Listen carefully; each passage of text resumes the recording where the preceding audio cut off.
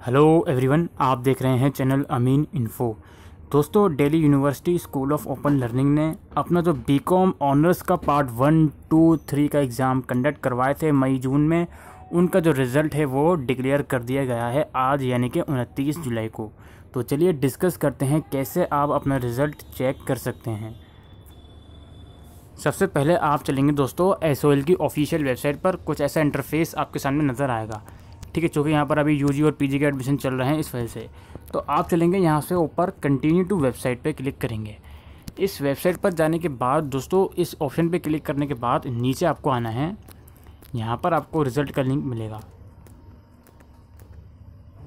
Announcements के column में मिलेगा B Com honours part one two three result ठीक है, इसका लिंक पर आपको क्लिक करना है। तो मैंने यहाँ पर क्लिक किया। इसके बाद आपकी जो डिटेल्स वगैरह होती हैं, रोल नंबर वगैरह, वो सब आपको यहाँ पर एंटर करना है और अपना रिज़ल्ट आप चेक कर सकते हैं। ठीक है दोस्तों, इसके अलावा दोस्तों यहाँ पर जो आगे आपको डॉक्यूमेंट चाहिए होंगे थर्ड ईयर वालों को, उसके ऊपर मैंने ऑलरेडी वीडियो बना रखी है, वो मैं उसका लिंक मैं वीडियो की डिस्क्रिप्शन में दे दूँगा। और फ़र्स्ट ईयर वाले और सेकेंड ईयर वाले, इन दोनों कैंडिडेट को वेट करना है।